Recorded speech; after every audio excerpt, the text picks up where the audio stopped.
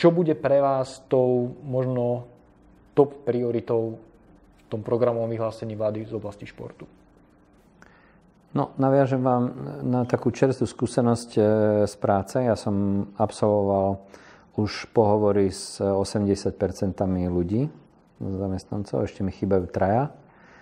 A všetci rad radom hovoria, ale sú to úradníci, úradníci za štát, hovoria, že tu nikoho nič iné nezaujíma, iba ten vrcholový šport, hej? že ten tlak je na, ten, na tú zložku. A že oni, keď chodia, sú tam dve zamestnanky, nechodia bežne do Bruselu a na rôzne sympózia športové, tak tam sa táto parketa vôbec nerieši. Hej? Tam sa stále rieši masový šport, šport seniorov, šport detí, šport mládeže a my v SAS chceme a budeme to presadzovať a keď sa to podarí presadiť aj v koalícii, tak my chceme, aby sa tu chápal šport ako verejný statok. Od toho sa odvíjajú napríklad voľnočasové poukazy, ktorí sú kľúčovou, kľúčovou ideou.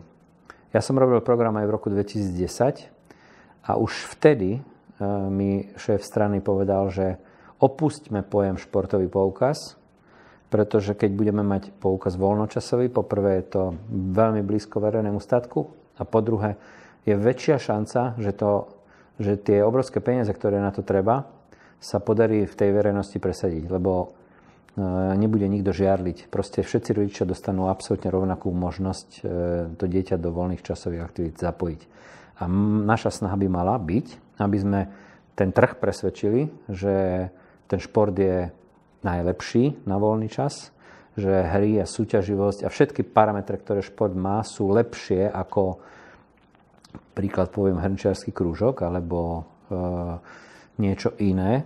Samozrejme, že folklór a tanec a aj e, tanec spoločenský, ktorý je malým športom, je, má, má k športu veľmi, veľmi blízko. Ten tanečný šport, o ktorom tu bola debata, je samozrejme šport, ale e, tanec v Lúčnici, v Sluku a v tých mnohých folklórnych veciach, ktoré po Slovensku sú veľmi populárne, tak sú blízko tomu poslaniu športu. Okrem Okrem možno, eh, no tak aj súťaživosť tam je, to znamená, že tam, je, tam nenájdete veľa eh, rozdielov medzi, príklad poviem, akrobatickým rock'n'rollom a, a nejakým folklórnym tancom. Snažím sa stále viac a viac vnímať to tak, že ten, pomer, že ten poukaz voľnočasový má väčšiu šancu na úspech ako športový.